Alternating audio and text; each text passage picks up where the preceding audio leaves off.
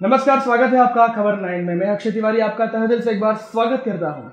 झाबुआ रतलाम अलीराजपुर संसदीय क्षेत्र के कांग्रेस के वर्तमान सांसद लोकसभा 2019 के लिए आज फिर अपना प्रत्याशी के रूप में नामांकन झाबुआ कलेक्ट्रेट ऑफ़िस में चुनाव लड़ने हेतु दाखिल किया। फॉर्म जमा करने के पूर्व स्कूल ग्राउंड में आम सभा की, जिसमें प्रदेश के मंत्री बाला बच्चन, शिक्षा मंत्री जीतू पटवारी, प्रभारी मंत्री सुरेंद्र सिंह, जिला पंचायत अधीक्षक नगर पालिका अध्यक्षा कुशलगढ़ के वरिष्ठ नेता महेश जोशी, मेघनगर थानला विधायक वीर सिंह भूरिया, जोबट विधायक कलावती भूरिया, पेटलावत विधायक वाल सिंह मेड़ा कई पदाधिकारी विक्रांत भूरिया प्रकाश रांका, पूर्व जिला अध्यक्ष सुरेश जैन, जिला अध्यक्ष, कांग्रेस व गुरु प्रसाद अरोरा व सभी पार्टी के पदाधिकारियों झाबुआ में रैली के बाद नगर में हज़ारों की संख्या में कार्यकर्ताओं व सभी नेता कलेक्ट्रेट ऑफ़िस पहुँचे, जहाँ कांतिलाल भूरिया ने कांग्रेस पार्टी ऐसी नामांकन दाखिल किया। मगर सबसे ज़्यादा मीडिया प्रतिनिधि को अंदर प्रवेश न देना सोचने वाली बात है। यहाँ कई मीडिया प्रतिनिधियों ने लोकसभा कवरेज हेतु अपने फ़ोटो पेपर, परिचय पत्र की फोटोकॉपी कई दिनों से जनसंपर्क अधिकारी को दे रखी मगर ऐसे राष्ट्रीय पार्टी के जनप्रतिनिधियों का वे फॉर्म भरने का कलेक्टर ऑफ़िस कवरेज नहीं कर पाए, जिसका दुख हुआ।